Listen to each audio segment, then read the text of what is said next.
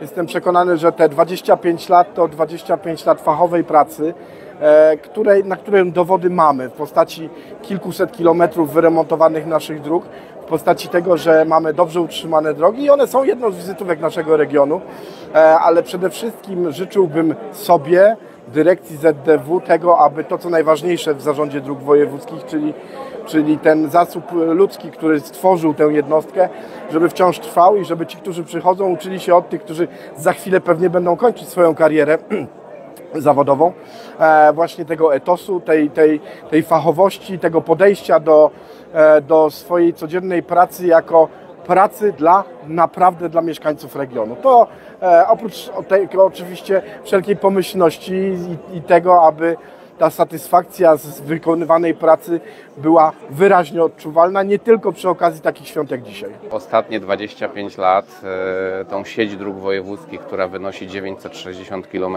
dzisiaj, przebudowaliśmy mniej więcej w około 50%. E, 400 km dróg została przebudowana do takich parametrów europejskich, do pełnotowarowych nacisków na oś 115 kN. Jest to standard dla dróg wojewódzkich, które powinna mieć cała sieć e, naszej, nasz, naszych dróg opolskich.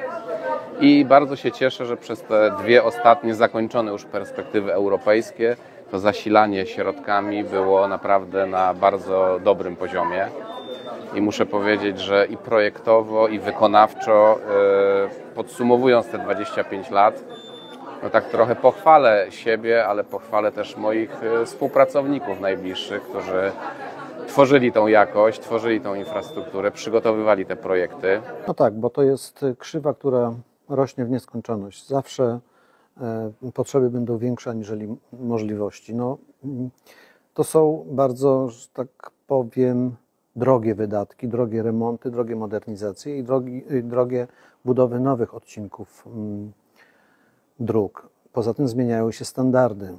Droga wojewódzka dzisiaj ma inne parametry techniczne, aniżeli miała 20 czy 25 lat temu. Dochodzą do tego e, ścieżki rowerowe, które są wkomponowane już w, w linię drogi wojewódzkiej. To znacznie pod, podnosi koszty.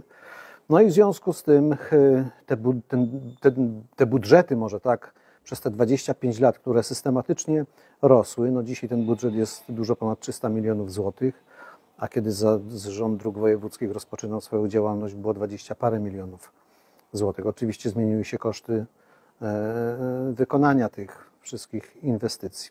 Tak czy inaczej, to jest prawie 1000 kilometrów dróg, którymi gospodarujemy i, i które musimy utrzymać, modernizować, remontować, ale mamy świadomość, że to jest kwestia komfortu życia na co dzień mieszkańców Opolszczyzny, ale głównie bezpieczeństwa.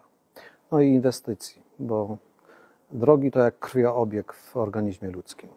Żaden biznes nie będzie inwestował w miejscu, gdzie nie będzie dobrej komunikacji samochodowej. Ja pracuję już tam 45 lat, to jest moja pierwsza praca i ostatnia, ponieważ y, mogłabym być już na emeryturze od 6 lat.